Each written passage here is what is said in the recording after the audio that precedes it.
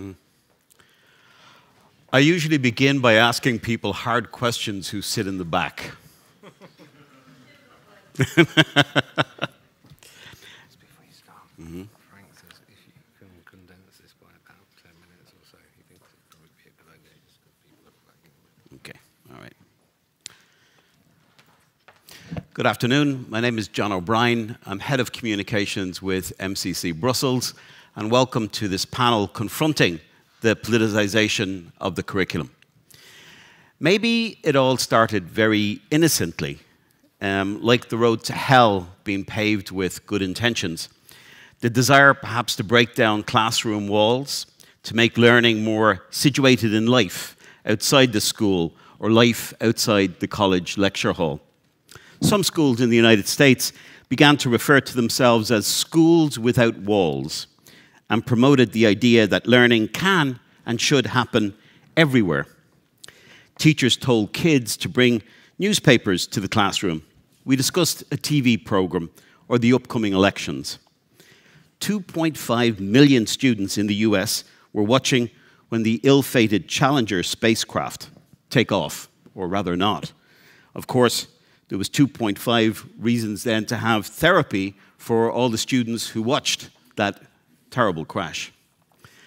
Maybe, though, it began with problem based learning, a teaching method in which complex real world problems are used as the vehicle to promote student learning of concepts and principles as opposed to direct presentation of facts and concepts. In addition to course content, problem based learning, believers said it promoted the development of critical thinking skills, problem solving abilities, and communication skills it also, they said, provided opportunities for working in groups. So you will not be in favor of it, Frank, right? Finding, evaluating research materials, and lifelong learning. Then, regardless of intention, something felt wrong or something went very wrong. At some point, it seems that politicians spend more time on attempting to re engineer education policy than almost anything else. Every social problem, from climate to racism, is the subject of a campaign to address it through the education system. Diversity, equity, and inclusion, DEI, seems to feature in almost every classroom subject. Maybe it was less about bringing students out into the world, but rather some political views, some political views into the classroom. What happens to the education system when politicians seem to turn it into a solution to all social woes? The main result seems to be that education is perhaps more ideologically, uh, ideological now than ever before, reshaping people to hold the right values, the right opinions, the right beliefs seems to be the chief role of education policy today. How should we respond to the saturation of education policy by political imperatives. Many would be quite happy to replace progressive indoctrination with an alternative, conservative brand. But such simplistic reversals seem blind to the real problem. With no authority of its own, the crucial distinction between education and the rest of life is lost. Should we seek to root out the DEI disease from education and replace it with more conservative values? Or do we need an alternative approach altogether? They are some of the questions we're going to be dealing with this afternoon. And I'm going to say to you now we have a value at MCC Brussels, and it is that the audience is very important. Your participation is very important. So as we go along, I'm going to suggest to you to make a note of a particular view or a particular question you have, because I will be coming out into the audience to ask you what you think, whether you put up your hand or not. Our first speaker today is Joanna Williams. She's founder of CIEO and the author of a wonderful book, which I'd recommend you check out, How Woke Won. She's also a columnist with Spiked magazine.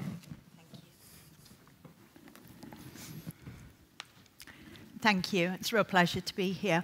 Uh, my starting point this afternoon is that education is thoroughly politicised nowadays, that every aspect of education has been uh, absolutely 100% imbued with political objectives, and that this takes three main forms. Uh, the first I would outline is the addition of new subjects which are inherently political in nature into the school timetable. So these are things like sexuality education, which focuses on gender identity and relationships and seeks to intervene in the most intimate areas of people's lives, or citizenship classes, which look to cultivate particular attitudes to the nation and the environment. Uh, the second way the politicisation uh, can be seen is in the changed content of more traditional academic subjects. Uh, for example, geography lessons, which focus on sustainability and environmentalism, a literature, which is used as a vehicle for exploring attitudes towards race and gender, and, and history, which becomes about the sins of the nation state.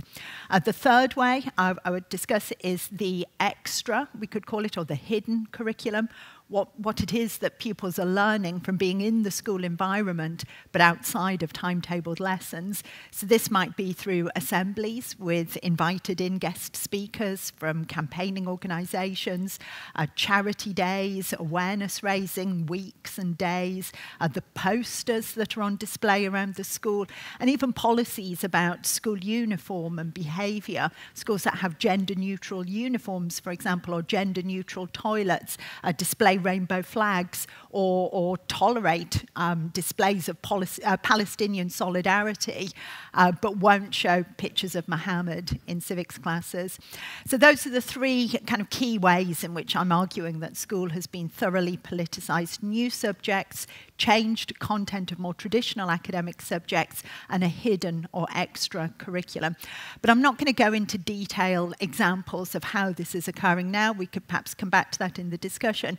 Rather, what I want to do is to explore how the situation's come about. And, and I also want to argue that why I agree with John, you know, it's no good for us just to uh, kind of take out a progressive ideology and substitute in a conservative ideology.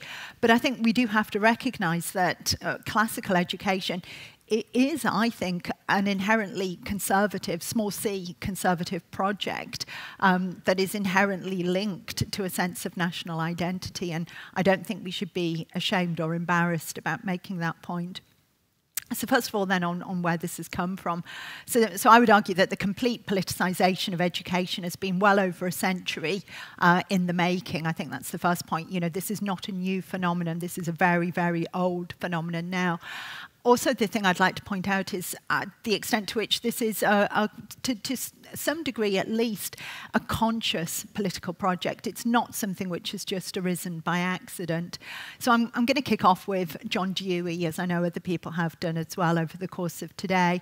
Um, in uh, Education and Democracy, which was published in 1916, uh, Dewey says, as a, as a society becomes more enlightened, it realizes that it is responsible not to transform transmit and conserve the whole of its existing achievements, but only such as make for a better future society. Now, he's clearly right about the idea of selection, I think that's relatively uncontroversial, but it's the final phrase in that sentence that I really want to pick up on. But only such as make for a better future society. It bends education to an instrumental purpose while appearing to leave open the question of what comprises a better future society. But ironically, I think given the title of his book is Democracy in Education, it's not the general public, it's not a national conversation that Dewey is looking to instigate, uh, or even elected representatives at this stage. It's very clearly teachers or curriculum makers who Dewey thinks should be responsible for determining what a, a better future society might look like. So for Dewey, um, this process of educating for a better society poses a direct challenge to the past. Uh, he argues the study of past products will not help us understand the present because the present is not due to the products, but to the life of which they were the products. What, what he means by this is that knowledge of the past and knowledge from the past is not, not so much that it's unimportant, but that it, it's just a resource in developing the future.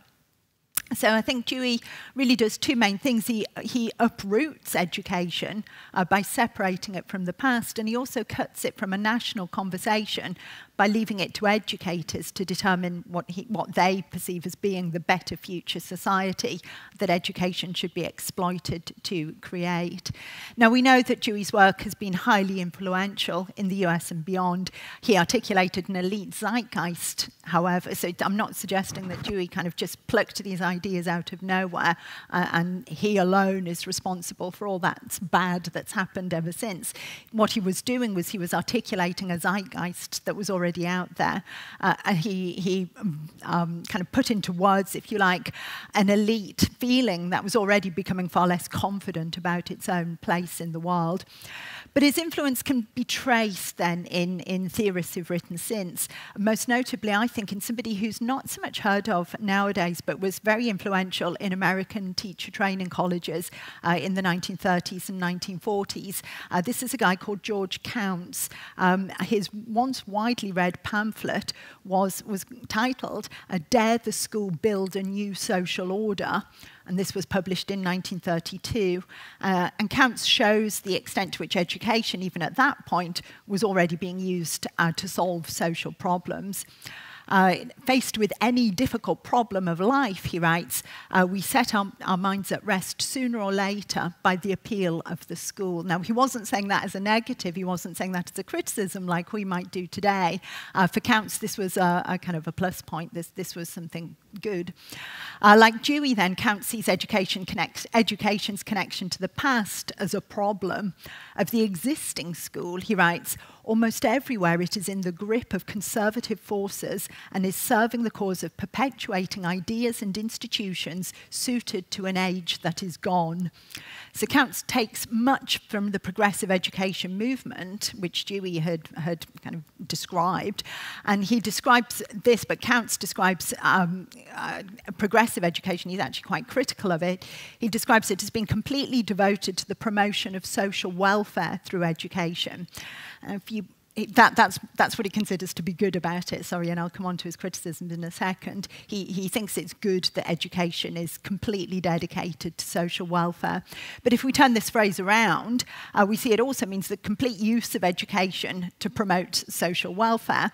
Uh, and if we swap social welfare for social justice, I think we have a very good indication of where schools are at today. So what, what Dewey dis, uh, well, sorry, what Counts dislikes about child-centered education, he describes it as being too vague, anarchic, sentimental, open minded, and individualistic. So he does have some quite damning uh, criticisms.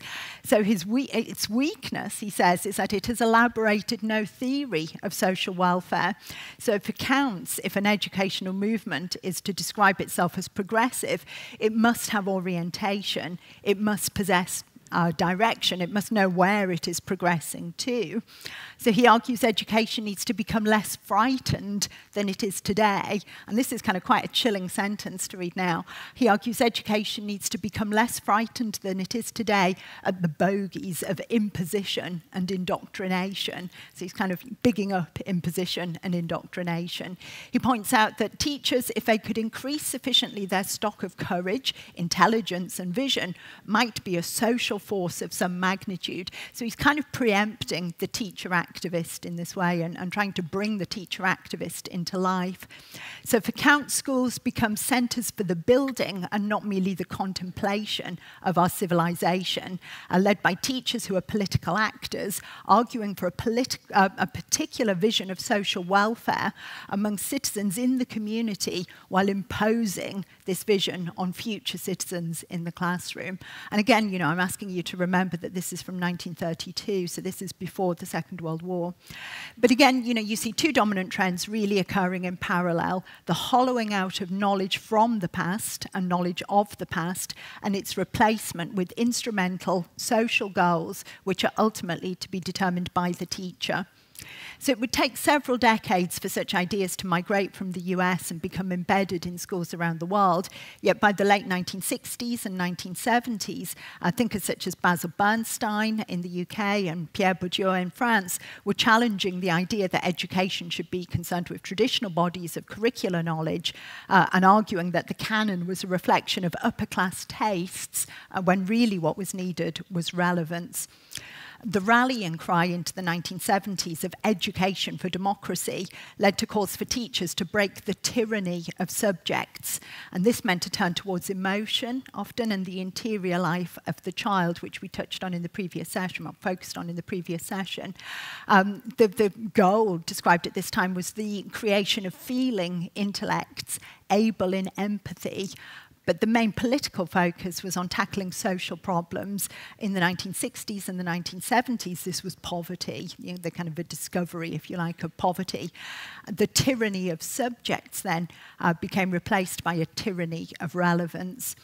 Um, two British educators, again writing a long, long time ago now, it seems a long time ago, 1970, the solution to poverty requires the redistribution of social power Self confidence, no less than material welfare, is a crucial lack of the poor. So it's not lack of money, it's, lack, it's lack of self confidence. Education, they come to schools, if it is to succeed in encouraging people's full capabilities, must start out as training for community action, for self help and mutual defence. So again, you've got this real creation of the activist teacher um, put to the cause of challenging poverty um, 50 years ago. So over the past five decades, I would argue the specific goals of education have changed. Today, they're less focused, teachers are less focused on poverty, welfare, and class, and more focused on gender, race, identity, and social justice. Uh, but the politicisation of education is complete because arguments that schools should break with the past and serve the present through political, or more recently, psychological goals determined by teachers began a century ago, and I would argue were pretty much won 50 years ago. So finally, just to conclude, I would argue we can't challenge this, this politicisation of, of education through arguing for a blank slate or value-free education. I would argue that for education to be meaningful, it must be rooted in the past, as I've described it here, a, a, kind of process of involving children, initiating children into a conversation based on both knowledge of the past and knowledge from the past.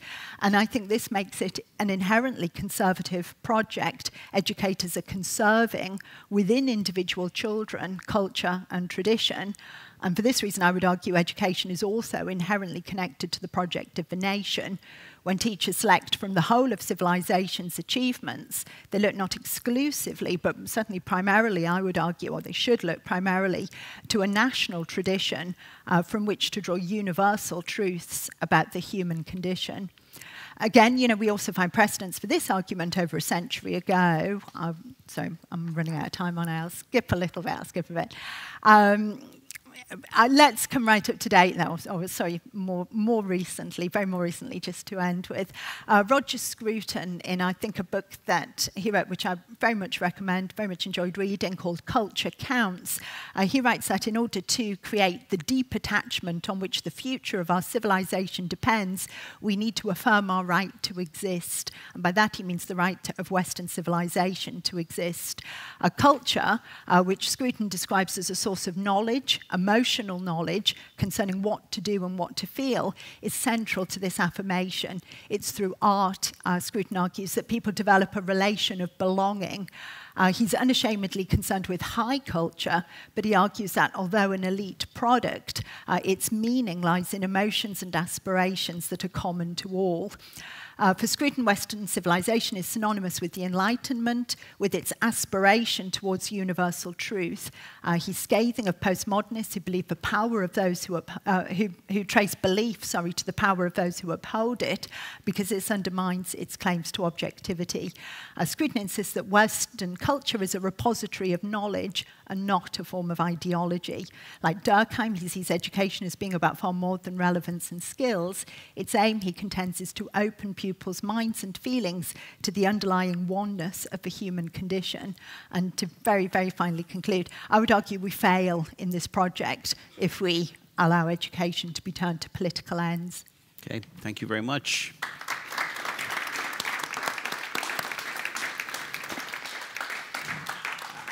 And to help continue the conversation today, all the way from Poland, Liliana Śmiech is president of the Warsaw Institute.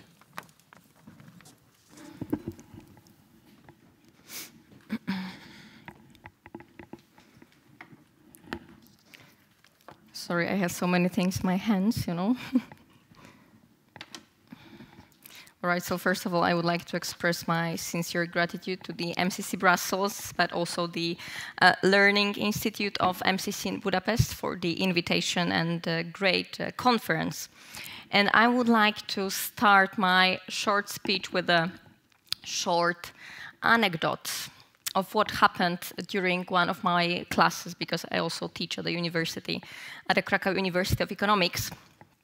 And I'm always trying to start uh, my classes with some kind of a short um, quiz game to actually assess how big, how broad is the knowledge of my students.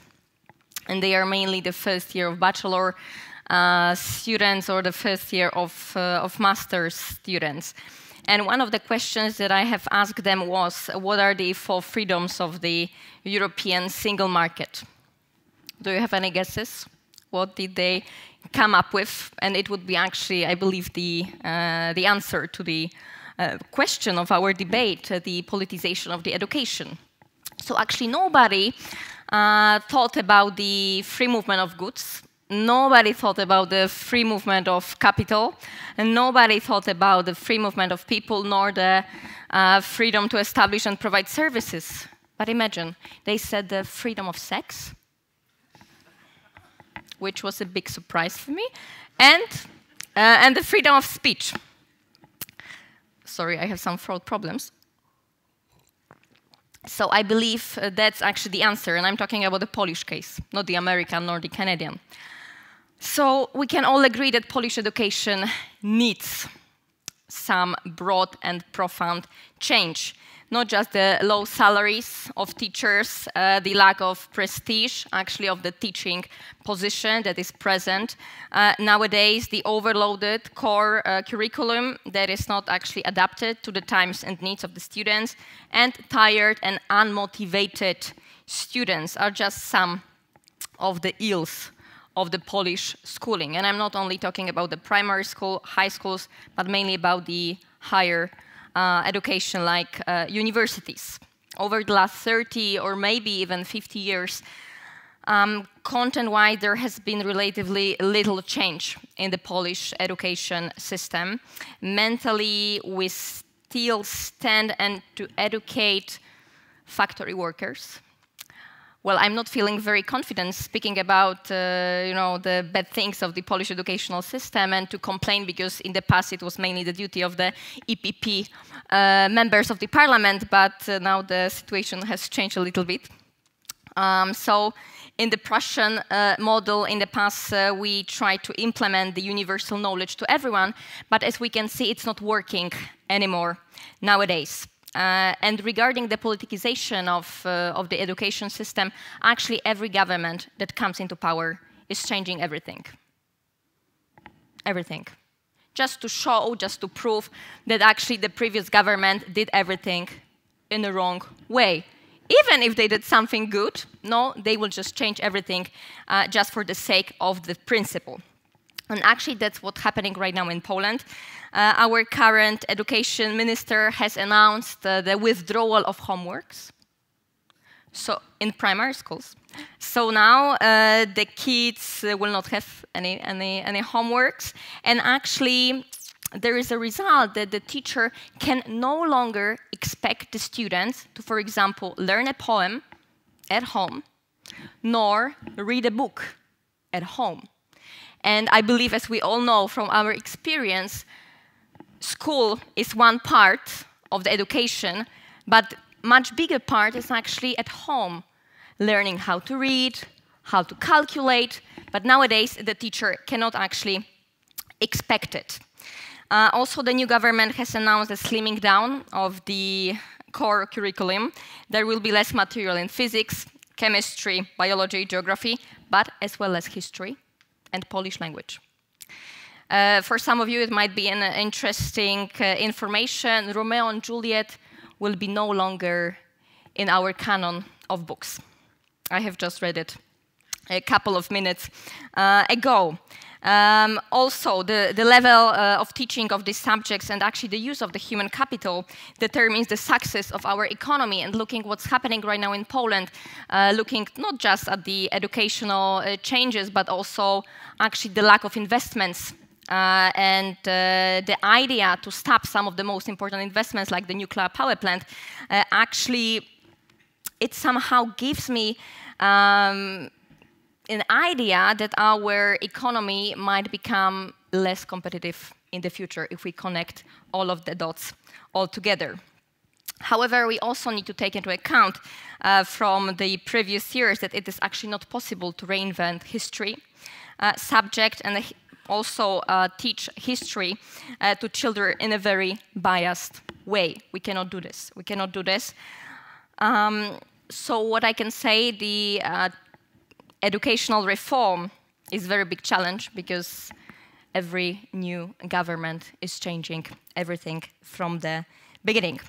But I'm also an academic, I'm also teaching at the, at the university, and what I'm encountering every year, every month, is actually that uh, young people, they don't know what's happening in the world.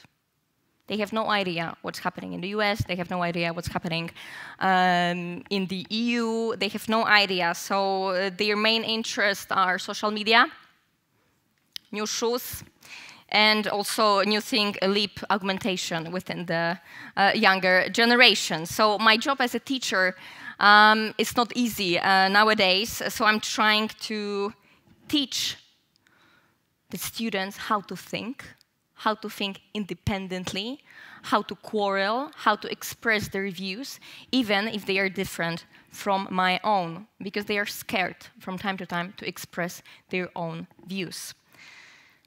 And the most important thing, to connect the dots. Thank you.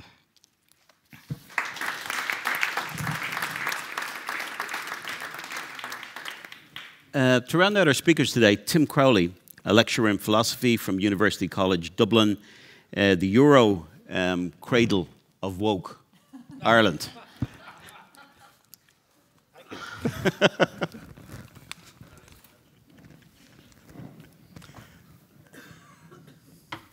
okay, well, last speaker, at the last panel of a long day, or a long two days for some of us. Uh, so, if you don't mind, I'd like to um, just maybe begin by reflecting a little bit on our, on our theme uh, our discussions today and yesterday have revolved around the question of classical education and how to reclaim it. But, as Socrates might have put it, how can we reclaim classical education without first knowing what it is? Now, we seem to mean something like education in the classical tradition.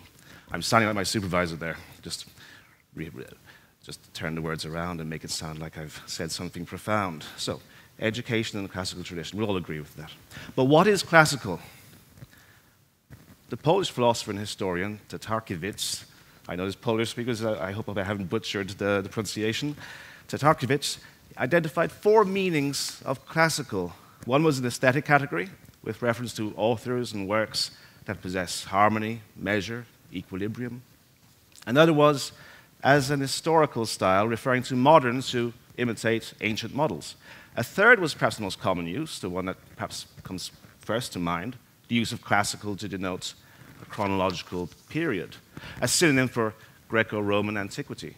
And much of our discussion has pointed at times towards the Greeks and Romans, particularly in terms of the question as to whether learning the languages of Greek and Latin must be at the heart of an education that one may call classical. But perhaps the most interesting meaning, and arguably what we are ultimately trying to discern when we talk of a classical education, is, is this classical in the sense of denoting value, something that is first class, perfect, as opposed to what is imperfect, indeed mediocre. So we want to reclaim a first class education. Now, this still raises questions. What does a first class education consist of? Because presumably a demand for a first class education is one held by all educational reformers and visionaries. For despite appearances or consequences, we might try to concede that every educational innovation is well meaning. Presumably, no one sets out deliberately to deliver a program of mediocre education, not even John Dewey. Still, what is it? Is it a question of the sort of subjects that are taught? Or is it a question of the style of teaching? And we must not lose sight of the further question why do we need to reclaim it? Evidently, the feeling is that education in the classical tradition, whatever it is, has been lost. Now, for some clarity here, I think it's worth turning to the thoughts of Dorothy Sayers on this issue. And a, spe- a laughter, a speech she uh, delivered at Oxford in 1947 on education. Here, Sayers sets out to inquire whether, as she puts it, we are really teaching the right things in the right way. And what she says, I believe, may help with our own inquiries, for she too evidently thinks that we have lost something, something valuable, and needs to reclaim it. Indeed, she entitled her speech, The Lost Tools of Learning. And moreover, she offers what I think is a very persuasive account of what exactly it is that we have lost. For to teach things the right way, she argues, is to teach how to learn. She writes Is it not the great defect of our education today that although we often succeed in teaching our pupils subjects, we fail lamentably on the whole in teaching them how to think? They learn everything except the art of learning. And for an appreciation for the art of learning, Sayers writes, we must turn back the wheel of progress some four or five hundred years before Bacon, Anthony, to the point at which education began to lose sight of its true object towards the end of the Middle Ages. She is speaking of the medieval syllabus of the trivium and quadrivium, the seven so called liberal arts. More particularly, she is interested in the first part, the trivium, consisting of grammar, dialectic, rhetoric. The trivium, as Sayers puts it, was not learning, but a preparation for learning. It gave the tools for learning, and this is what she thinks has been lost. First, the pupil learns grammar, meaning the structure of language, not simply learning a foreign language that one might order a coffee or buy a train ticket, but learning the nuts and bolts of language what it was, how it was put together, how it worked. Secondly, he learned dialectic, how to, how to use language, how to define terms, make accurate statements, how to construct an argument, how to detect, detect fallacies in argument. Thirdly, he learned to express himself in language, how to say what he had to say elegantly and persuasively. So, whatever subject is then pursued, the point is that the pupil has first learned to handle the tools of learning. With these tools, any subject may be mastered. With these tools, we can, she says, produce a society of educated people fitted to preserve their intellectual freedom amid the complex pressures of our modern society. With these tools, they can carve out their character. So these tools have been lost, but we do have a new sort of trivium today the trivial and depressing trivium of equality, diversity, and inclusion, or EDI. Like what Sayers says about the trivium, these new tools are not learning, but a preparation for learning. And like the trivium, with these new tools in hand, the pupil or student can approach any subject. Of course, there's a crucial difference. For these tools of EDI are very blunt tools. They tend to reduce any subject to which they are applied to the same state of ruin. With EDI as a hammer, every subject looks like a nail. The only discovery these tools permit is that the whole Western canon is, to use a term much loved by our new EDI educators, problematic sexist, racist, homophobic. These new tools produce from every material the same ugly accusatory sculpture. Rather, indeed, than being tools of learning, the EDI trivium functions as tools of unlearning. Now, EDI initiatives tend to take the form of expressions of commitment. They, they love commitments or pledges. Commitment to what are evidently political goals.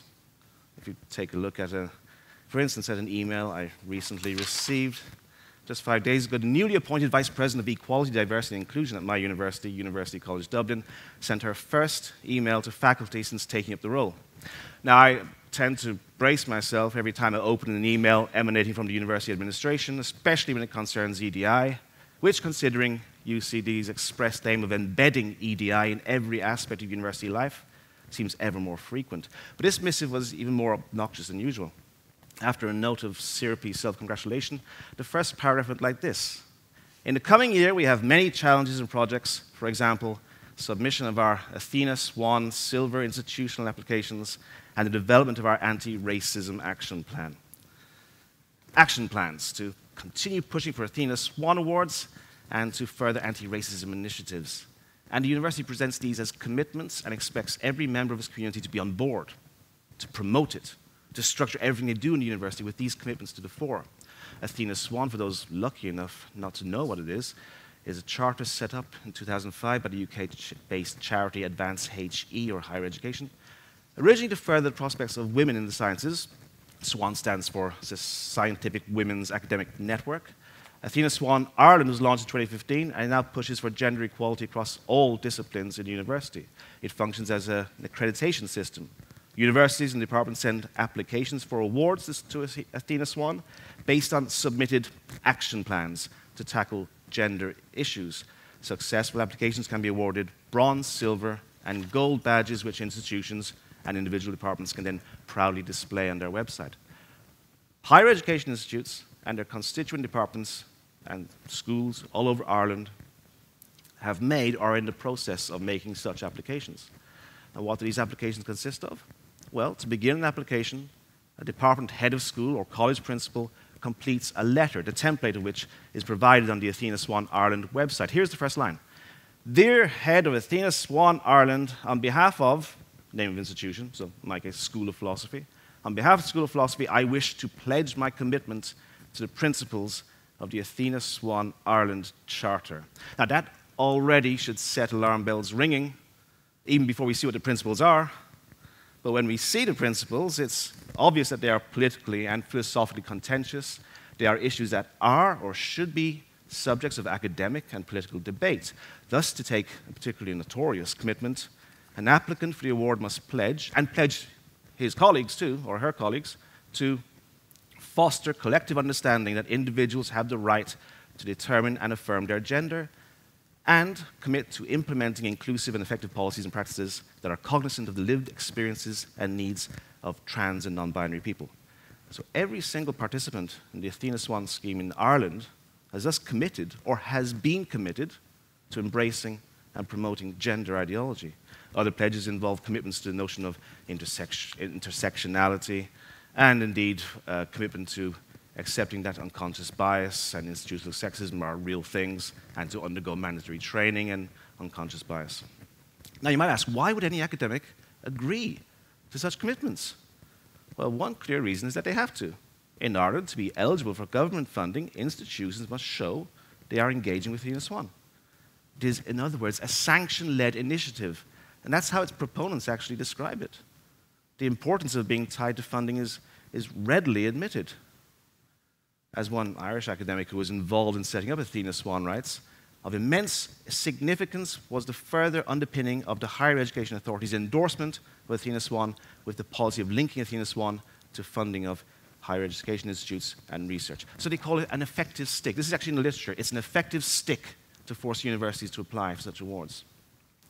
Of course, that might not seem sufficient as an explanation, uh, I mean, these remarks, these, these threatening remarks, it's an effective stick to get you to, to get involved. They are appalling. They should disgust anyone who believes in academic freedom or freedom of speech in general. Indeed, that Athena Swan Ireland can present such threats goes against the protections in, of academic freedom in Ireland's Universities Act. And we have strong protections. In Section 14 of the Universities Act, it's stated that a member of the academic staff of a university shall have the freedom within the law in his or her teaching, research, and any other activities, either in or outside the university, to question and test received wisdom, to put forward new ideas, and to state controversial or unpopular opinions, and shall not be disadvantaged or subject to less favorable treatment by the university for the exercise of that freedom. So, why hasn't there been any reaction to this? Or indeed to the Vice President's second announcement, the development of the Anti Racism Action Plan, which, by the way, is related to Athena Swan Ireland, because both are products of Advance HE. anti-racism principles come from their race equality charter. So the, the anti-racism action plan involves embracing a set of principles whose, whose title, whose tenor, and the supporting materials unmistakably link the campaign to critical race theory, the controversial academic associ um, movement associated with divisive activist academics such as Ibram X. Kendi. The tool has been imposed on Irish universities from above, from the Irish Higher Education Authority, an organization that seems thoroughly corrupted beyond repair. No one has questioned the co coherency of the HEA's expressed aim of race equality, with its goal of equal outcomes, and its stance, adopted from Kendi, that race inequality or any disparity in outcomes between individuals of different races is conclusive proof of racism, admitting of no further possible cause. So, given that Athena Swan and the Anti Racism Action Plan are both politically and philosoph philosophically partisan, and given that we have in Ireland very good protection in the law for academic freedom, why has there been no pushback? Alan. A couple of reasons come to mind. First, there is an incredible, a startling amount of ignorance regarding academic freedom among Irish academics. That's one reason. But secondly, the more obvious reason is the political and ideological biases of the vast majority of academics is such that they believe in these principles. Athena Swan has been described as the imposition of gender feminism throughout the academy, and the academy is full of gender feminists and their enablers. And one might present a third reason. Aside from the true believers, one imagines there are academics who just want to get on with their teaching and research and publishing and keep their head down. And to avoid these political maneuvers and, and work towards their next promotion. As, as Susan Haack puts it, to be an academic today, to be an academic today, there's a strong temptation to be an ostrich, to get on quietly with your own work and do your best to ignore the noisy battles around you. Now, perhaps that is possible in some disciplines, but when you are an academic in a discipline like philosophy, or simply an academic with any self respect, it is more difficult. When, as Haack puts it, the great revolutionary chorus is announcing that disinterested inquiry is impossible, that all supposed knowledge is expressions of power, and that the concepts of evidence, objectivity, truth, and ide are ideological humbug, it is hard to ignore. Because if you keep your head down in the face of that noise, you are betraying your discipline, your university, your students, and ultimately yourself. I'm reminded of the, the, the, whistleblower of police corruption in New York, Frank Serpico, who was played by Al Pacino in the 1973 film Serpico. When Pacino went to him to visit him when he was preparing for the role, and he asked him, Why did you step forward? Serpico replied, well, Al, I don't know. I guess I would have to say it would be because if I didn't, who would I be when I listened to a piece of music? To conclude, I should like to think that were I myself an advocate of the policies pushed by Athena Swan and Advance HE, gender ideology, and critical race theory, anti racism, if I myself were an advocate of such policies, I would hope that I would still balk at the idea of demanding that colleagues, current and future, would commit to these things. I should like to think that I would still, as a scholar and academic, resist calls to institutionalize such ideologies in the university. But then again, I fear, were I indeed a committed advocate of such policies, pushing for and welcoming the embedding in the university of these illiberal ideologies would be precisely what I would be doing, judging as merited the sacrifice of academic freedom and free expression at the altar of gender and racial equality, and identifying protests to such sacrifice as evidence of misogyny, transphobia, homophobia, patriarchal heteronormativity, white supremacy, systemic racism, etc., etc. This is what we're up against. Thank you. Thank you, Tim. Um, so if you don't want to answer a question, ask a question, or you don't want to make a statement, put up your hand, and then I'll come to all the other people. Does anyone have anything they want to say? Any, any, any sort of comment at this point? Yes, sir. Keep your comments, if you can, brief I, to the point. I think there was a problem of terminology when you said uh, we don't want um, um, progressive education replaced by conservative uh, education, I would say, oh, that's a very difficult and complex question. If you would say, we don't want a left wing education replaced by a right wing education, then I would say, I totally agree. Okay. Okay. But can I ask you, is it not the case that if classical education is a conservative education, Joanna said that, then surely if you were a green or a leftist, you'd want to get rid of classical education? I don't know. I know leftists who would uh, totally embrace classical education in, this, in the sense we know it. Okay. Not wokeists, of course. Okay, very good. Somebody else? Someone else who's not spoken today. Yes, here we go. Thanks a lot for this very interesting uh, day. I wanted to um, go back to what the last speaker says about the national government funding of certain projects or curricula. I wanted to make a parallel with the European Union. I worked for the Erasmus Plus program before and uh, handing out scholarships to university consortia that develop projects in line with the Bologna process to reform the university studies. And they uh, are being given priorities, topics, along which they shall deliver, uh, develop a project. Like, for example, uh, ecology, inclusion, integration of mi- migrants, smart cities, everything that's part of this woke culture. Partly, not all, not all. And uh, they are then selected along this line. So we have a whole bunch of projects that are on these topics because these are like compulsory um, to receive a grant. Mm-hmm. So it's the same thing uh, at European level and also outside Europe for consortia of European and uh, uh, yeah and b- bigger scale. Right? So what Tim is saying, you're saying, is part of the, the, the system generally.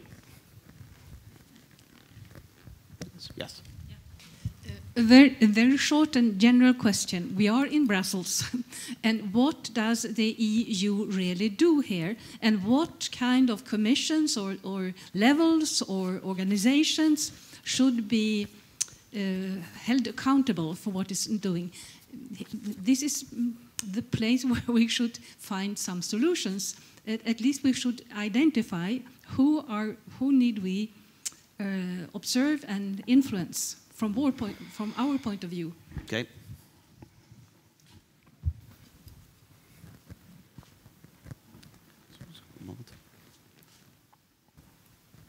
No. Okay. I I think it's slightly unfortunate um, to tie the word conservative to classical education um, or liberal education. And, and it's not liberal, of course, in the sense of liberal party politics. It's liberal in the sense that it's a liberating education. People who have this education are free, freed. Um, because certainly in Britain, you'd be very unwise to entrust um, the promotion of classical or liberal education to the Conservative Party that's done at least as much damage to it as the, um, uh, the Labour Party, not least by introducing a national curriculum in 1989, which I think was a very unconservative thing to do. So I, I think we should stress that what we're promoting is something that, you know, when I started in universities, um, the idea of um, what, what Tim has been saying about academic freedom um, would have been shared by, maybe not by a few Trotskyites that there were around, but, but by people from all different um, points of view. Um, so, I, so I just say that as a, as a note of caution. I, I- find actually what Tim has described is, is absolutely sickening, but it's not atypical. But we shouldn't forget who were the biggest supporters of the Nazis in 1933. I'll leave that as a rhetorical question. Joanna, did I hear you correctly when you said that you thought that a classical education reinforces values like the idea of nationhood and like traditional conservative values? So- Yeah, but, sorry. Go ahead. Uh, absolutely. I, I, had thought I said, but I obviously, it's my fault, I obviously hadn't made it clear. Uh, in no way do I mean conservative as in the Conservative Party. I'm meaning conservative as in the project of to conserve, um, uh, conserving a sense of knowledge, a sense of culture. But I do think that that is bound up in the project of the nation state as well, because I think, you know, I'm going back to Durkheim here. Uh, Durkheim writes that the school is the only moral agent through which the child is able to systematically learn how to know and love his country. But, but for Durkheim, my, my interpretation of that is that love of country is not an end in itself. You know, he's not trying to um, build a, an army of little patriots, but a means by which our children are helped to feel a deep sense of commitment, uh, a shared community that predates their existence yeah, and will continue but is it, after their yeah, death. But is it not the case then that conservative, not as in political, but conservative, a conservative education, would be seen by some as being anathema to the idea of the type of no borders, no Oh, nationhood. 100%, but then that's our challenge. You Mm-hmm. know, if we're going to make the case for classical education, I think we do need to um, push back against those people.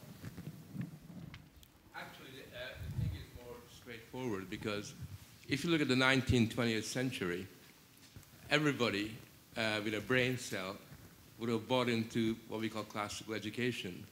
So Marx himself wrote at length uh, about the importance of the Greeks and the Romans.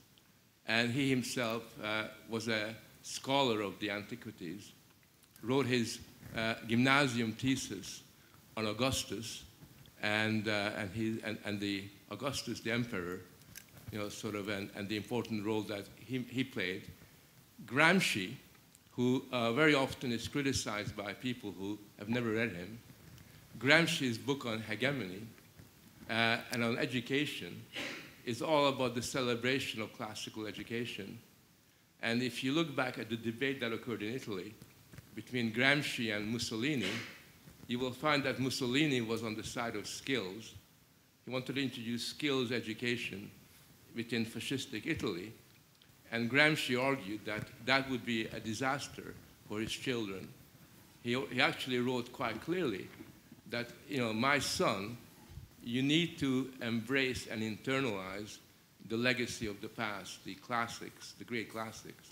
So in those days, although there were big ideological differences on everything, there was no difference about the importance of internalizing the legacy of Western culture. Nobody argued, like Foucault and others later on, that there's something ideological about it or there's something wrong about it. They basically understood that uh, the legacy of Western civilization was non-negotiable and that everybody had to be able to embrace that.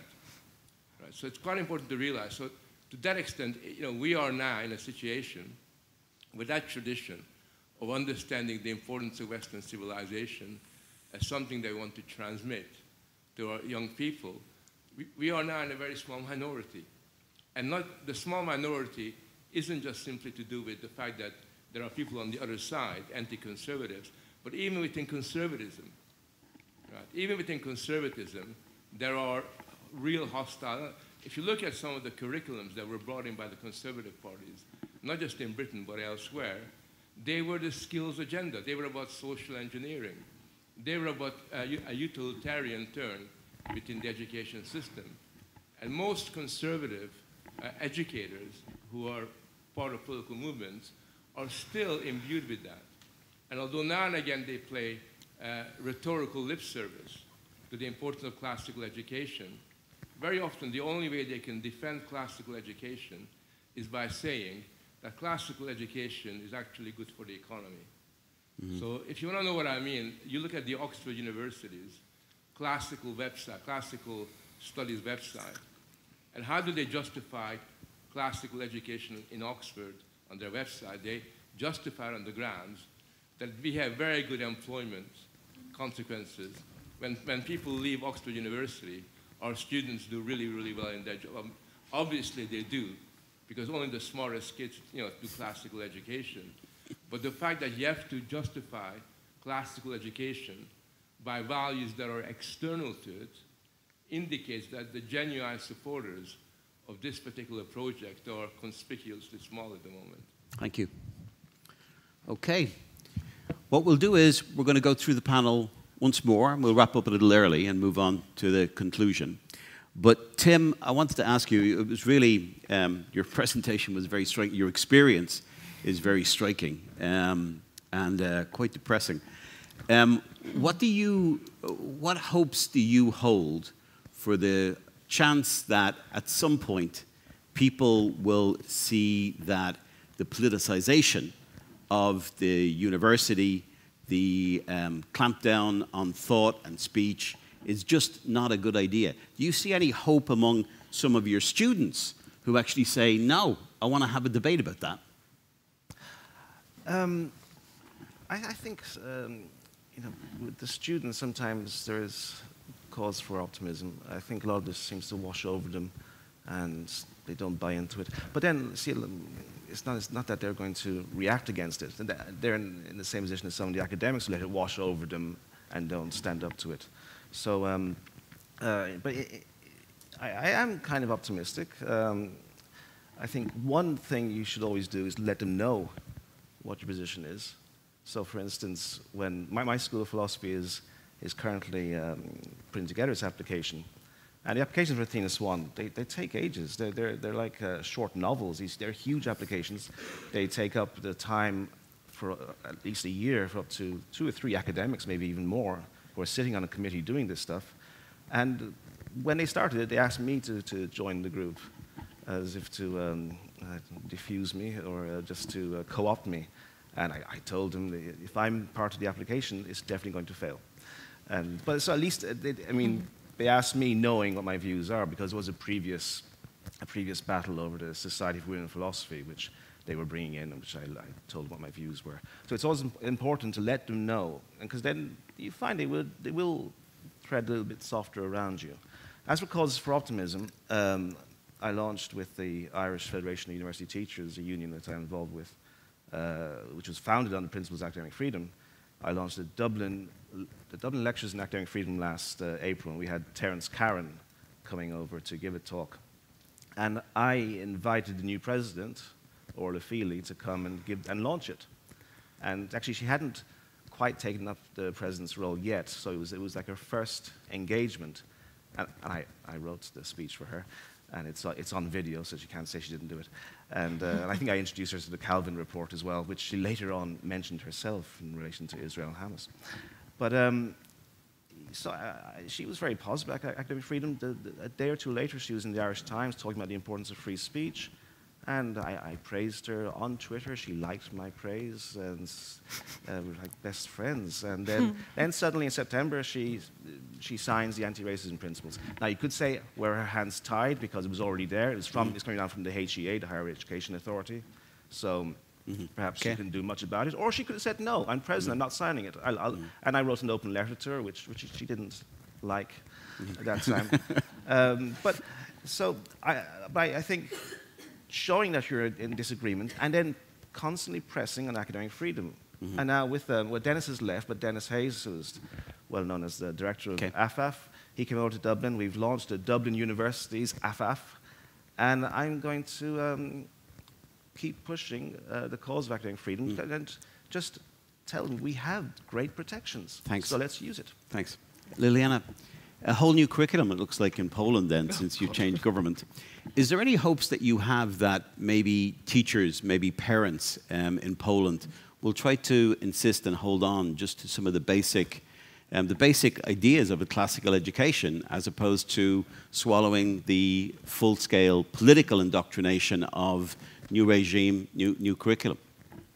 New regime, maybe it's too much for now, I would say. Um, but yes, there are already some voices uh, of parents, of schools, of course, not of the students, because, um, you know, depending, of course, on the age, but if we look at the primary school, they are not too conscious, actually, to decide on what they really want to study, so they need a good influence of the good teachers and the parents. But there are already some voices uh, in the answer of what's happening right now with the new as you mentioned, I wouldn't say the regime, but with the new uh, reform that is uh, going to be introduced uh, into the schools. So let's say there is some hope, but I'm not very optimistic Okay. uh, for the future, to be honest, because uh, looking at what's happening, uh, if you would ask me one year ago, I would be much more optimistic. Uh, I thought that Poland is still a safe spot. But to be honest, I believe Hungary is the last safe spot on the uh, European uh, or in the, even in the, on the world map. Joanna, what I wanted to ask you in conclusion briefly is that it would seem to me that teachers themselves should be the front line of defense against the politicization of education. And it makes no difference whether a teacher is green, left, or right wing.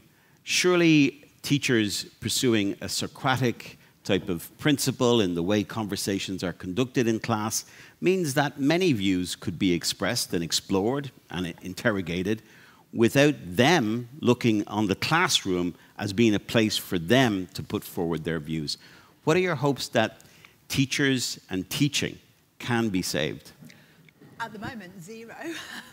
um, but I, I, do take your point, and I, I, think it's very, very important. And every so often we get these calls, uh, mainly in the US and in relation to higher education, that there should be almost quotas where at job interviews uh, in a kind of McCarthyite system, people are asked to uh, kind of declare their voting intentions in the next election, and you'll fill your faculty with kind of equal representation of, of left and right wing. And, you know, that makes my blood run cold, and, and I don't see any uh, point in engaging in such exercises, and I don't think education would be better uh, as a result. I, you know, I think you're absolutely right. It shouldn't matter what the teachers' educational views, uh, teachers' political views are, but that assumes um, a knowledge centered classical curriculum where the, the knowledge that's being transmitted is uh, seen as being worth what is A, it's there, it exists as a body of knowledge waiting to be transmitted, and there's a sense that this knowledge is sufficiently important in its own terms that it's uh, more important than any political project uh, that you might want to engage in.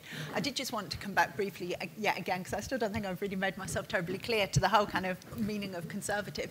And certainly in the UK, I mean, we've been ruled by a conservative Conservative government uh, for the vast majority of the past five decades, I would divide them into two groups. I think there are Philistine technocrats, and then there are the woke true believers um, that, are, that are forming the basis of our government, current Conservative government, which has been in office uh, for the past, well, over 10 years. And, and I'm not sure which of those two I hate most, the Philistine technocrats or the woke true believers, but I don't think there's one kind of true political conservative anywhere near the Conservative Party um, as it stands in the UK right now and in most other countries uh, throughout Europe. Um, you know, but, but again, that, that's not at all what I was trying to imply for education. You know, what I'm looking at for education, I think if we uh, have the concept of classical education, which I'm certainly taking away uh, from this conference, is, is a concept which is, is, is premised upon the legacy of the past. And, and for me, that links a, a sense of, of passing on the, the transmission, you know, is not to say, let, let's transmit this so you completely rip it all up and start again.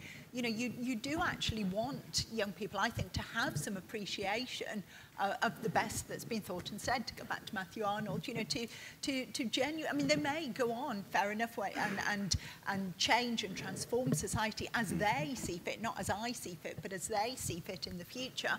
Uh, and, you know, I think my job, the teacher's job, is not telling them what that future should be, uh, to go back to Dewey or Counts, that, that's for them to decide.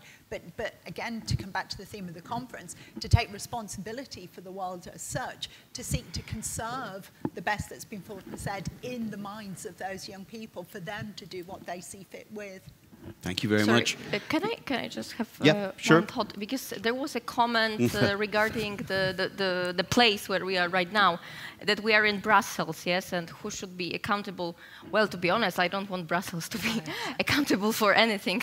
Um, I mean, uh, at looking, you know, uh, at the current situation with the change of treaties, you know, Brussels will decide whether in Poland uh, we will have a, I don't know, new investment uh, connected to the nuclear power plant or uh, the huge uh, airline hub. No, I, I, don't want Brussels to interfere in any other um, spectrums of, of education or any other. So I don't think that the, this should be the place where we should decide about how the education system should look like. Tim, if you can do it in two sentences, I can do it in two seconds. Okay. I, just- I do want to I respond. don't believe you. The, the lady who asked the question uh, about the EU has funding. Was it uh, just? I couldn't see what the Yes. microphone was. Actually. Down here at the back, yeah. Okay, there. it's um, that's, that's a great point. I would say quickly that actually that would that would serve as an argument against why we should have Athena Swan as this extra umbrella body in Ireland, because if it's already if there's a similar thing about inclusion and diversity in the EU, because there's a difference between acknowledging, for instance, gender ideology and being a cheerleader for gender ideology, which is what Athena Swan wants us to do. So it's a very good question. Uh, was it you in the red asked the question? Thank you. So it's a good question, but I would- actually take it as something, as a reason, another reason why we should get rid of it. And also because it's a UK thing, which uh, in the UK, it's, it's no longer tied to funding. It's the Irish government is tied to funding. But thank you for that question. Hey, would you please give the panel a round of applause, please? Thank you. Okay. Thank you very much. Right, well, uh, thank you everybody for coming. And this has been a, a tiring day for a lot of people. It's been a tiring two day for even more uh, people.